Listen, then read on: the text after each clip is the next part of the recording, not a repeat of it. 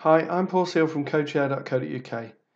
A few days ago, uh, someone who did the YouTube series that I did for um, making an Umbraco site and the second series where I built this site, Eye Love Lashes, they asked me how do they get alt text onto the images.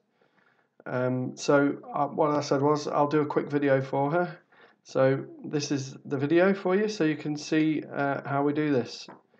So um, let's have a look when she says about alt text, she's talking about on the image tag, we want some alt text here.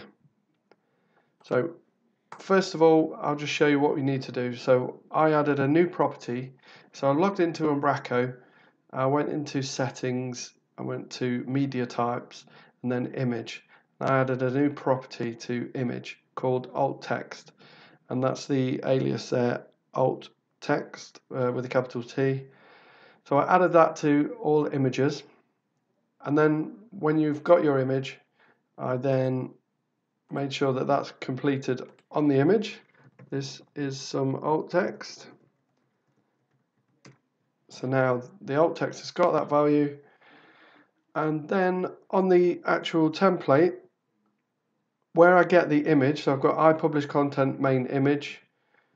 So I get the image from the current content item then what I can do is I can get the value from that main image by doing get property value um, angle bracket string and then alt text inside the open uh, round brackets. So that gets me the main image alt text.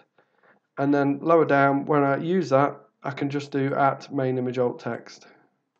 So it's as simple as that. So it's just literally it's a property now on the uh, image on all images that are within the media section anyway. Uh, the other thing just to point out is that if you're doing it within content, so let's say I've got some content here and I have an image, well, you have the opportunity to put that in there. So let's choose this image. So you have the opportunity to add alt text here. So here is the alt text. So I can submit that and save and publish. So now if I view this page, we'll see there's the image. If I inspect that, here is the alt text. So when it's a when it's an image that is within the um, within the content editor, that's how the alt text is added. So even though it has it on the image that you picked, doesn't come from there, it comes from whatever gets added at that point in the content.